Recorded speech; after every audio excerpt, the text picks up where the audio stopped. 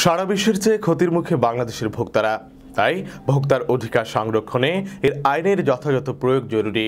রমজানের আগেই ব্যবসায়ীরা ইতিমধ্যে প্রয়োজনীয় জিনিসপত্রের দাম বাড়িয়েছে। সামনে যাতে পণ্যের কৃত্রিম সংকট তৈরি করতে না পারে এবং ভোক্তাদের কষ্ট লাঘব করা যায়, সেদিকে লক্ষ্য রাখা উচিত। মুজিব বর্ষে শপথ করি, প্লাস্টিক দূষণ রোধ করি।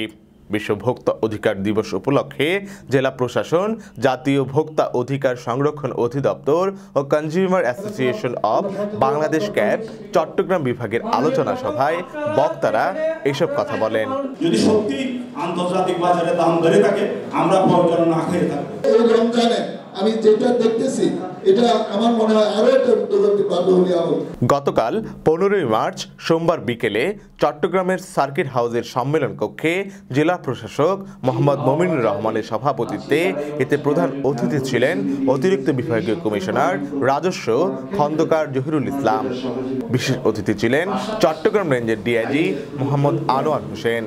বাংলাদেশ আনসার ও গ্রাম প্রতিরক্ষা বাহিনীর উপমহাপরিচালক মোহাম্মদ শাহাবুদ্দিন, চিরাগং চেম্বার অফ কমার্সের সভাপতি মাহাবুবুল আলম, ক্যাব চট্টগ্রামের সভাপতি S M Nazer Hossain.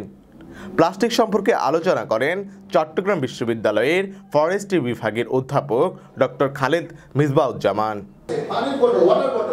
আমরা এটাকে যেখানে সেখানে পিকনিক স্পটে বলে রাস্তাঘাটে বলে সব জায়গায় ফেলে দিচ্ছি। এবং মানুষের মধ্যে কোনো সচেতনতা আমরা দেখছি না কিন্তু।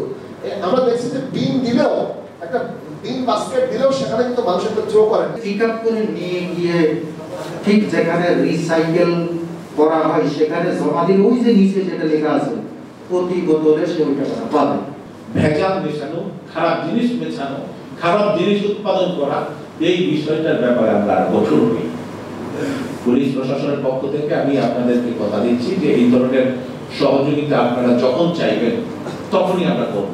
শুধুমাত্র পলিথিনের কারণে কর্ণফুলি আজকে মৃত হয়ে ব্যবসায়ীরা কিন্তু এখন অনেক বেপরোয়া হয়ে গেছে এখানে অনেকেই আছেন। যদিও তারা একদম একটা কাজের ব্যবসা করে আরও অন্য পাঁচটা পরিদের জন্য তারা ক্রেতা আমরা সবাই কিন্তু ভোক্তা। এই ভোক্তা অধিকার নিশ্চিত করার জন্য আমরা প্রত্যেকেই কাজ এ সময় চট্টগ্রামের ক্যাব বাজার কমিটির প্রতিনিধি, ব্যবসায়ী, সচেতন নাগরিক, ভোক্তাদের বর্তমান অবস্থা তুলে ধরেন। আশিক আরেফিন, চিটাগং লাইভ।